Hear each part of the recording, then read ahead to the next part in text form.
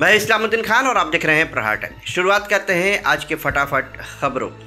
ठाणे के घोड़बंदर रोड पर आज सुबह एक टैंकर पलट गया जिसमें लोड केमिकल रास्ते पर फैल गया, जिसकी वजह से काफ़ी ट्रैफ़िक जाम रही। आपको बता दें कि जे एन पेटी से सूरत की तरफ़ जाते समय ये टैंकर का ड्राइवर मोहम्मद शाकिर का नियंत्रण खो गया और ये भयानक हादसा हो गया। बताया जा रहा है कि इस हादसे में किसी के घायल होने की खबर नहीं है। ठाणे के घोड़बंदर रोड कासर बडौली के जंगल में लकड़ी के पड़े ढेर में रात के समय भयानक आग लग गई।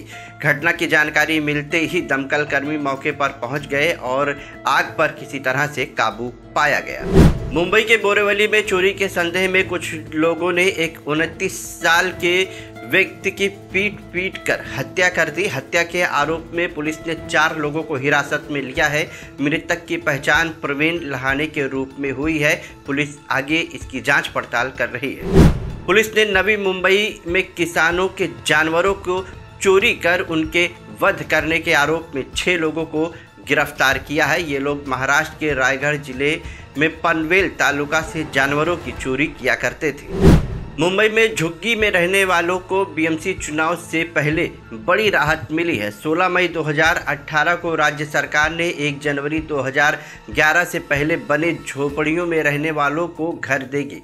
मगर ये भी बताया जा रहा है कि ये घर मुफ़्त में नहीं दिए जाएँगे। इसके एवज में ढाई लाख रुपए भी वसूली किया जाएगा। उल्लासनगर पुलिस ने दो आरोपियों को गिरफ़्तार किया है, जो एमपी से देसी कट्टा लाकर उल्लासनगर में बेचते थे। पुलिस को जब इनके बारे में जानकारी लगी तो पुलिस ने घेराबंदी करके आसिफ, नसीर शेख और तौफीक हसन शेख को गिरफ़्तार किया है। इनके पास से दो देसी कट्टा और दस कारतूस बरामद किया गया है। थाने के पाँच पखाड़ी में प्रशांत कॉर्नर के सामने हुए अतिक्रमण पर मनपा ने कार्रवाई करते हुए इसे तोड़ दिया है। मनपा को इसकी शिकायत कई दिनों से मिल रही थी, जिसके बाद मनपा अधिकारियों ने इसे कार्रवाई करते हुए प्रशांत कॉर्नर के सामने जो अतिक्रमण था उस पर कार्रवाई की और उसे तोड़ दिया गया। राजस्थान के रकबर खान मॉब लिंचिंग मामले में अलवर कोर्ट ने चार आरोपियों को सात सात साल की सजा सुनाई है। इसके साथ ही एक आरोपी नवल किशोर को कोर्ट ने बरी कर दिया है। कोर्ट ने जिन आरोपियों को सजा सुनाई है, उनमें परमजीत, धर्मेंद्र, नरेश और विजय शामिल गाजियाबाद में एक दर्दनाक हादसे में माँ और बेटी की मौत हो गई है। घर की छत पर कपड़े सुखाने के लिए गई थी, तभी छत की रेलिंग में करंट उतरा था और 16 महीने की बेटी ने रेलिंग जाकर पकड़ लिया। बेटी को बचाने की कोशिश में माँ भी पहुँची और माँ भी करंट की चपेट में आ गई। दोनों को आनंद फानन में अस्पताल पहुँचाया गया, लेकिन डॉक्टरों ने मृत घोषित कर दिया।